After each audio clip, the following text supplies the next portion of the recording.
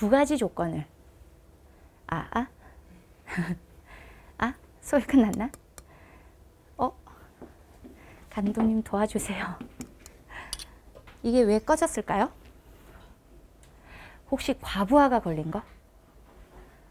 그래서 뚜껑이 집이 내려갔나? 그럼 위험한 거야. 아 마이크 배터리가 나갔을 거라고요? 되게 가벼운 이유일 수 있겠. 마이크 배터리. 자 여기는 안 봐도 괜찮을까요? 아, 아. 선생님께서 길게 누르신 것 같아요. 나 안 눌렀지. 아, 이 표정 봐, 이거 진짜. 야, 내가 수업하다 이걸 왜 누르지? 어, 여기 나간 건 없어요 지금. 저거? 네. 그럼 저거를. 저거 근데 저게 나가, 안 나갔으니까 얘만 켰을 때 들어오지 않았을까?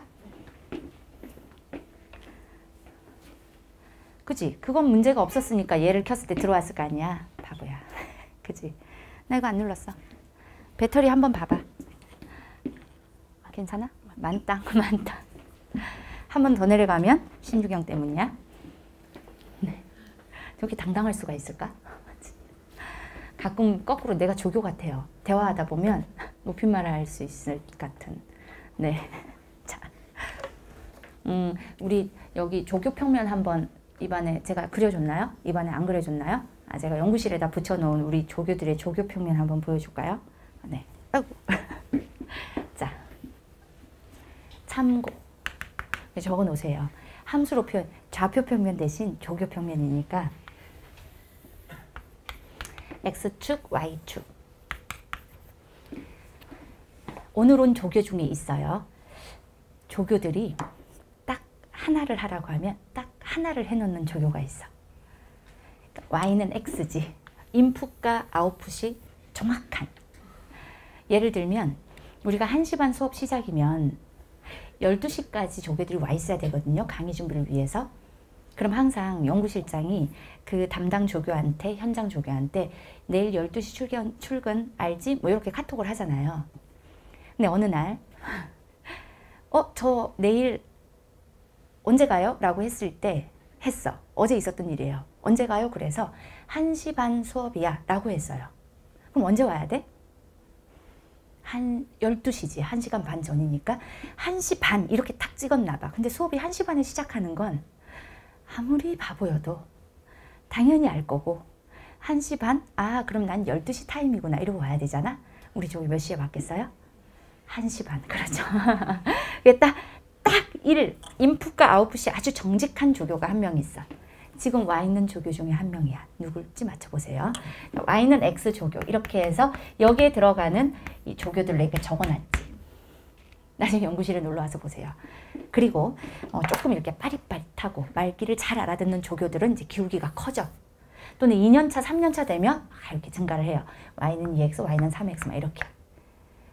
근데 이제 그런 조교들 중에 우리 조교들 중에 정말 연구실을 좋아하는 조교 대부분이 다 연구실을 좋아하긴 해.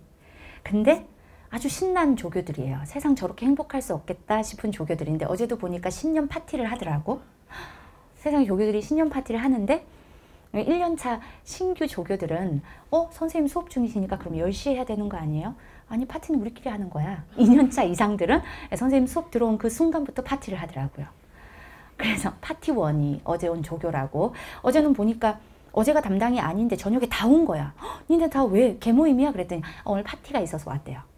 어, 사진 찍은 거 보니까 아주 신나게 했더라고. 아웃백에서 주문을 해서 정말 저 안에서 조교실 안에서 방음되는 문을 닫아놓고 신나게. 그래서 술만 먹지 마라.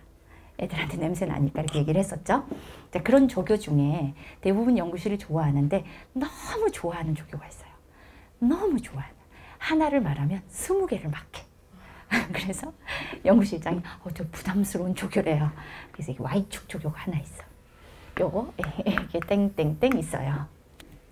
네, 그리고 또 이제 이와는 반대되게 유리함수가 있어. 요런 조교가 있어요.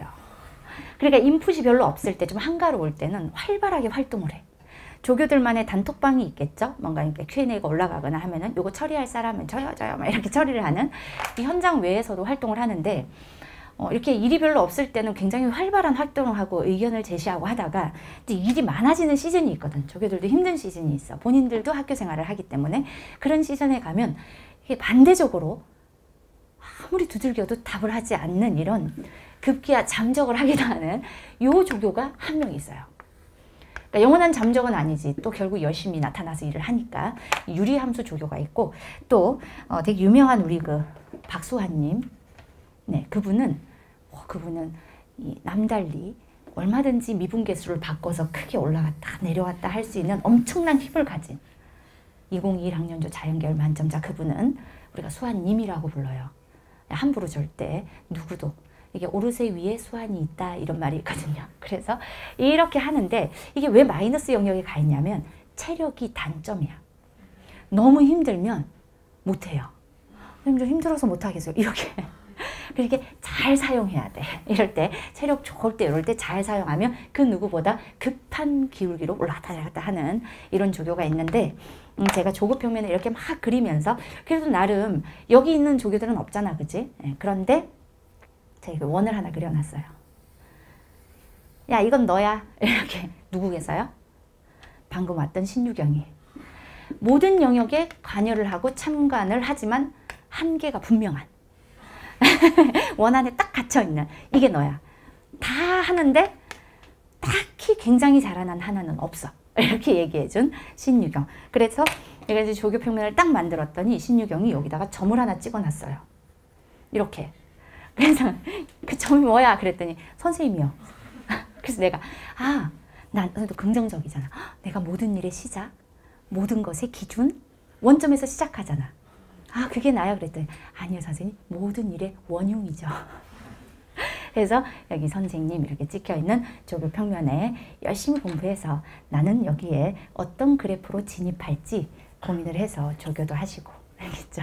네, 이제 시작하는 거지만 자, 다양한 꿈들을 꾸면서 조교가 하고 싶어서 나는 대학 잘 가는 것보다 오르세 연구실에 조교하고 싶은 게 꿈이에요 라고 말하는 사람들이 간혹 있어요. 이제 이러면 부담스러운 조교가 되는 거죠. 이렇게 올라와서 Y축이 될 수도 있으니까 거기까지는 아니고 행복한 대학 생활을 하면서 조교도 한번 해보겠다라는 꿈을 꾸시기를 알겠죠? 조교 평면이었어요.